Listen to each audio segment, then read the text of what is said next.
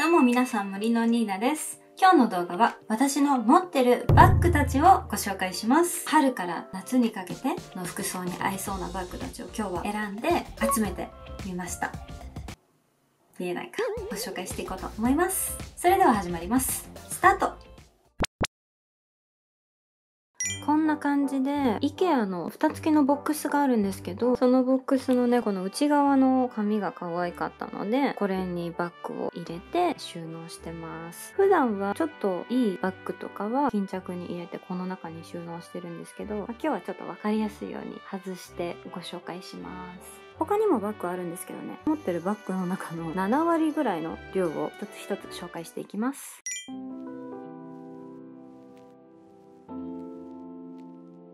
それではまずはこちらのボックスからご紹介していきます。じゃじゃん。こちらはマイケル・コースのグレーのバッグです。6万円ぐらいでした。セールで買ったのでめっちゃ安く買えました。多分半額くらいですかね。サイズ感で言うとこんな感じです。今日はね、ちょっといろんなバッグに合わせやすそうなアースカラーの服にしてみました。めちゃめちゃこの服に合いますね、このバッグ。かわいい。やっぱ改めてかわいいですね。セールだったのでね、コインケースも一緒に買っちゃいました。このバッグの時は、このコインケースに、自転車の鍵とか、小銭だったり、あ、お釣りが来ちゃった、どうしようって慌てて入れられるようなコインケースです。街もね、結構あって、長財布もエアブラシも小さなメイクポーチも入ります。お花がね、立体感があって、可愛いんですよ。形がね、めっちゃシンプルなのに、ちょっと華やかさをプラスしてくれるので、色もグレーなのでね、結構何にでも合わせやすいです。中身はこんな感じで、紐は使わずこのまま使うと、まあ、結婚式とかちょっと大事なシーンとかでも使いやすい形のバッグだと思います。やっぱ色がグレーってことでねとっても万能だと思います。裏がね柄がないので、まあ、ちょっと裏返して使えばちょっとしたビジネスシーンでも使えるかなって思います。続いてこちらのイエローのバッグをご紹介していきます。かわいい。こちらは先ほどのバッグと同じ形のバッグです。さっきのバッグとはちょっと違って横から見るとねアコーディオンのような形をしているバッグですサイズはこんな感じですめっちゃ可愛くないですか？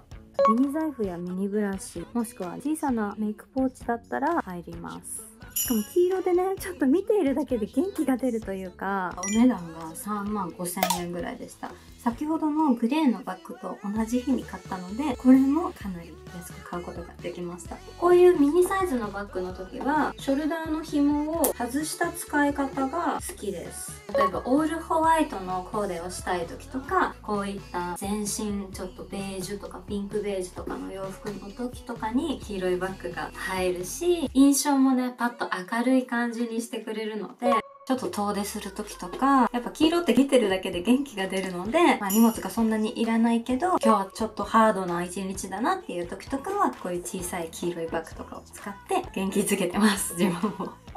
うん。続いて、こちら。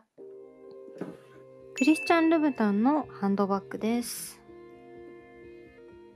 初めて定期預金が貯まった時に買ったバッグです。お値段は22万くらいだったと思います。当時は新作で、なんかこのバッグの時は買い物中に店員さんにどこのバッグですか？って聞かれることがすごい多かったバッグです。かわいい。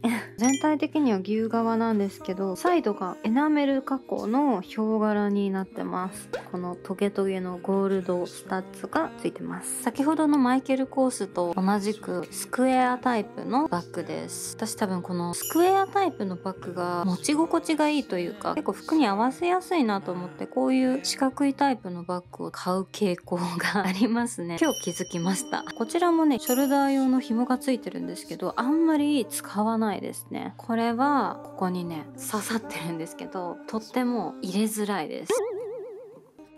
ちょっと今日はしっかりメイクしてお出かけしようっていう時とかに、このバッグを使ってます。28歳ぐらいの時に購入しました。だから、なんだろう、絶対に私がおばあちゃんになるまで売らない、売らないで大事にしていこうと思います。2箱目。じゃじゃんケイト・スペードのクラッチバッグですね。メルカリで購入しました。多分1万9000円か1万2000円とかぐらいで購入した覚えがあります。で、画面だとよくわかりにくいんですけど、ここがゴールドの色になってます。これめっちゃ可愛くないですか？すごいね、気に入ってるんですよ。物はそんなに入らないんですけど、こんな感じで、ここをこうやって開けます。形がカゴっぽいのに色が黒でこんな感じでちょっとツヤっぽいので高級感もあってとっても気に入ってます。サイズはこんな感じです。スマホ、小さいお財布、リップクリームのとかが入ります。今日みたいな服装にこれだけとかだと結構おしゃれに見えるかなと思って、ボールインワンとかワンピースとかにこれを使うことが多いです。これはもう完全にちょっとでの時ですね。遠出する時とかは、あの、紐がついてないので、そんなに動きやすい状態じゃなかったり、まあちょっともしかしたらどこかに置き忘れちゃったりとかしそうなので、ちょっとランチとかに使うことが多いです、ま、結婚式の時とかにも使いやすいですよね。ビジネスシーンとかカジュアルなシーンとか綺麗めのお洋服にも合うバッグを買うようにしてます。なんかじゃないと使わなくなっちゃったりすることが今まで多かったのでそういう基準でバッグを選んでます。中でもねこれは上品なシーンでもカジュアルなシーンでもめちゃめちゃ活躍してくれるクラッチバッグです。続いてこちら。22って書いてあるバッグなんですけど、これはね、どこのなんだろうな、アトレの中で購入したんですよね。価格は1万5000円くらいで購入しました。これめっちゃ使いやすくて結構毎年春から夏にかけての季節にめちゃめちゃ活躍してます。1万5000円なんですけど柄のおかげか高級感あるんですよね。形がまるっとしててミニサイズなので外のデザインがすごい派手でもねとっても使いやすいんですよね。ブランド名はどれだ？読めない。ニュ、ニュメロ、ヌメロ、あ、ノベンバーティ10です。はい。これが多分ブランド名だと思うんですけど、外に出てるロゴが数字なので、高級感あるのに結構カジュアルな雰囲気にしてくれるのが、このバッグの気に入ってるポイントです。使い勝手も、ジッパーが こんな感じでめちゃめちゃ開くようになってるので、ミニバッグなのに中身が取り出しやすい。中身が取り出しづらいやつは使う頻度がね減ってしまいます。なのでね先ほどのルブタンも結構ね入り口が狭いので生地も固めですしちょっと綺麗めのファッションの時とかおしゃれしたい時にこういうルブタンを使うんですけどそうじゃない時はこういう小さめでも中身が取り出しやすいっていうバッグを頻繁に使います。意外に入っちゃうんですよ。これとかもね普通に入ってもまだ余裕があります。小さめのミニサイズのお財布を使います。まあ例えばですが電気針ブラシとか 余裕で入っちゃいます。ファッションに少し高級感を出してくれるというか、ちょっとおしゃれっぽく見えるみたいな。ちょっとスウェット生地のオールインワンとか着てても、あんまりラフすぎないファッションに見せてくれるので、お気に入りです。ーん。こちらはエマニュエル・アンガロって読むのかな？古着屋さんとかが好きなお友達とお出かけしてる時に見つけたカバンです。3000円ぐらいで買いました。1万5000円から2万5000円ぐらいの価格帯のバッグがあるブランドでした。このバッグを買ったと同時にこの形のバッグがすごい気に入っちゃってネットでいろいろ探して現在コチネレだとかカルボッティのバッグを色違いホワイトで探そうかなと思ってます。サイズはこんな感じです。